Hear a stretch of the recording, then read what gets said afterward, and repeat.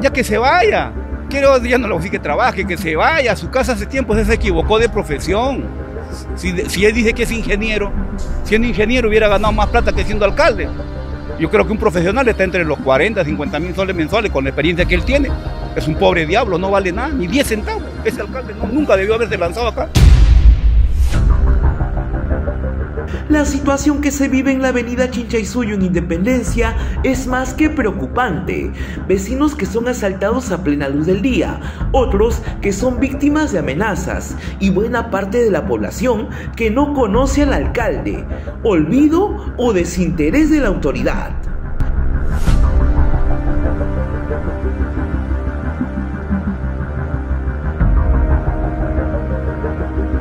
El alcalde no se le conoce. ¿Dónde está el alcalde, hermano? ¿Dónde? ¿Dónde? Tú no ves el alcalde, mira, así como lo ves ahora, así como 30 años atrás. Así lo mismo está. No ha nadie hecho nada acá, nada, nada. ¿Dónde está?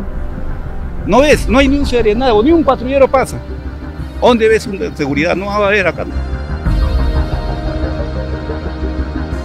Así como la escucha del vecino José Bonivaz. Al alcalde Yuri Pando no se le ha visto por la avenida Chinchaysuyo. Tampoco hay buenos indicios de su gestión. Prueba de esto es el testimonio de una madre de familia que teme salir a la calle con sus niños. Usted como vecina se siente segura aquí en la avenida Chinchaysuyo, en esta, en, esta parte de Independencia. No, para nada, y más que ando con, los, con mis tres hijos, para nada.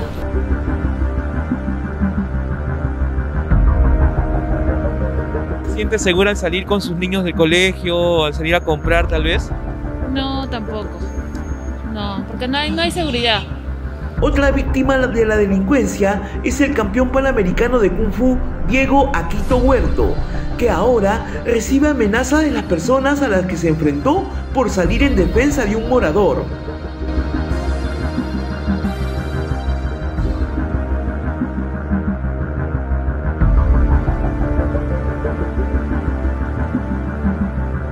Domingo en la mañana, 8 de la mañana, eh, mi vecino César Cajavilca pasa pues con, haciendo las compras para el desayuno y vienen estos dos señores, eh, Benjamín eh, y Derek, ¿ya? que están registrados ya, vienen a cogotearlo y a palearlo. ¿ya? Entonces en ese momento es donde yo veo pues este abuso, intento intervenir, estaba yo en vehículo, y es donde mi, vehículo sale trizado, el parabrisas, a las pedradas que, me dan estos delincuentes, ¿no? Entonces, por lo mismo, eh, dejo el vehículo a un costado y, procedo a seguirlos. Entonces, eh, he tenido que enfrentarme a ellos eh, gracias a las técnicas de artes marciales la sensación de peligro también alcanza a la pareja de Aquito, que teme lo peor, y también le cuenta a Limay sobre los peligros que uno pasa en tan importante vía de independencia. Estás recibiendo amenazas de parte de delincuentes eh, que se enfrentaron, que agredieron también al señor Diego, ¿verdad? ¿En qué consisten este tipo, este tipo de amenazas? Eh, sí, en el tiempo, en el transcurso que mi esposo estaba en el médico legista, viendo el tema de sus lesiones, recibí una llamada al mediodía aproximadamente el cual me decían, eh, dile a Diego que por soplón todos se van a morir. Y terminando la, frase con palabras soeces.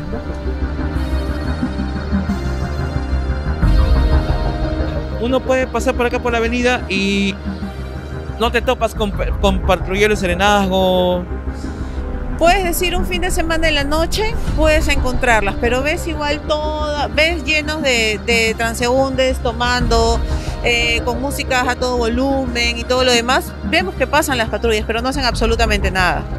Usted como vecina, ¿qué, qué le pediría al alcalde de Independencia? que realmente haga su trabajo, ¿no? que ponga orden y que, que, bueno, que haga una limpieza general de, desde la autoridad que está más alto, en este caso, bueno, podría ser, pero que haga, ¿no? Que haga, que haga toda esa, esa limpia y que ponga a personas que realmente se preocupen. Por segunda semana consecutiva, Limay se convierte en la vitrina para que los vecinos de Independencia soliciten a su alcalde Yuripando trabajar. ¿Será tan difícil hacerlo? Usted como vecina, ¿qué le pediría al alcalde de Independencia? Ah, que haya más seguridad y que estén los... Mira, por ejemplo, hay una patrulla, pero pasa así, sin mirar, sin nada. Pero que haya más seguridad, más, este, más vigilancia, más serenazgos, así. Cuando empezaron hubo de fiscalización cualquier cantidad de personal. ¿Y qué hacían? No, no te dejaban ni un ambulante, nada. Si tú abres un negocio, tenías que poner tu licencia. Si abrías antes, te ponían una multa de 3 mil, 4 mil. Y si no pagas, te intervienen tus cuentas en el banco. Eso es lo que ha hecho. Averigüen y vas a ver. Han aver- a muchas personas. Todo eso, ¿no? un llamado de atención a las autoridades, al alcalde de Independencia, tal vez para que dirija algún tipo de, de operativo, ¿no? Buscando ah, las guaridas de estos delincuentes también. Claro que sí, eh, sería bueno que el alcalde de Independencia y todo el personal de seguridad ciudadana pueda hacer eh, exhaustivamente eh, las diligencias y operativos que se internen, donde estos señores se congregan a, hacer sus reuniones, ¿no? Y ahí los pueden encontrar, pues, ¿no? Todos los fines de semana, siempre estas personas de mal vivir están, pues, este, eh, drogándose, Alcalde Yuripando, esta no es la primera vez que el IMAI llega a la avenida Chinchaysuyo. Semanas atrás le mostramos cómo la basura ocupaba los espacios públicos. Ahora, la inseguridad parece que formará parte del legado que usted le deja a sus vecinos.